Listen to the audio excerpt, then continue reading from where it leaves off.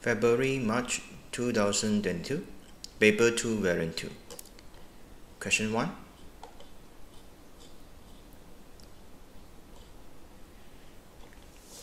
figure 1 shows how first ionization energy across period 2 and from here we know that there are some irregularities. Later we'll discuss about that Okay, part A. Construct an equation to represent the first ionization energy of oxygen. Okay, so this one you must start with uh, gaseous atom. Make sure you include the state symbol. Gases atom of oxygen. Do, do not put O2. It's just oxygen atom. And is ionized to form oxygen with one positive charge. Okay, must be gaseous form. Release one electron. Okay, B1. State and explain the general trend in the first ionization energies across period 2. The general trend will be from lithium to neon. So it generally increases. So explain this general trend. Okay, very easy. When it's a cross period, so we know that the proton number increases and the inner electron shell actually they are the same means across the period the inner shell of all these elements they are the same that's why the shielding is almost constant. Shielding is mostly contributed by the inner electrons.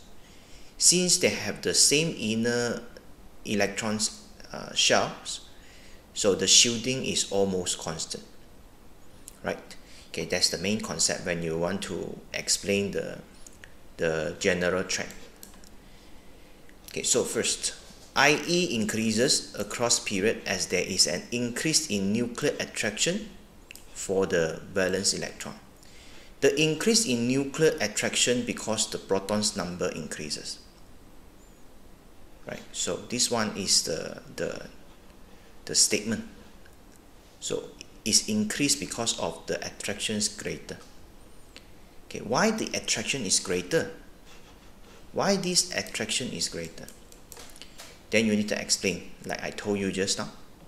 Across the period, the numbers of proton in the nucleus increases, but shielding of the outer electrons remain constant. Means the shielding that caused by the inner shell is constant. Almost the same shielding effects. That's the reason why we have this uh, general increase. Proton increases, the shielding almost constant. Okay, part 2. Explain why ionization energy A does not follow the general trend. Okay, this is the irregularities. So this one is group 1, 2, 3, 4, 5, 6. Okay, uh, the new syllabus actually is group 1 to 13 14 15 16 so between 15 group 15 and group 16 there is a, an irregularities. It's supposed to be higher but it's actually lower. So explain this. A why is lower ie okay it's very easy. Uh, because it's group 16 so it has six valence electron the electrons uh, arrangement in this uh, orbital diagram should uh, is look like this. Okay so is uh, two electrons in the s orbital and four electrons in the p orbitals. Okay so there is a pair of electrons in the p orbital. This we call spin pair spin pair and this pair of electrons is has repulsion and this repulsion the neg because these electrons they are negative negative charge negative and negative particles that have repulsion. And these effects we call spin pair repulsion.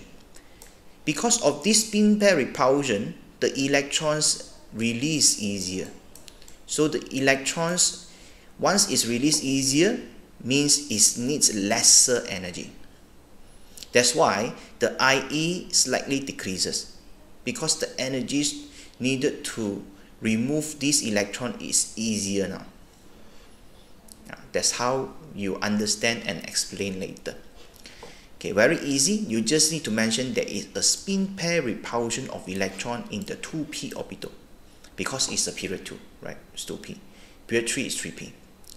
And this spin pair repulsion okay, is over outweighs the increased nuclear charge.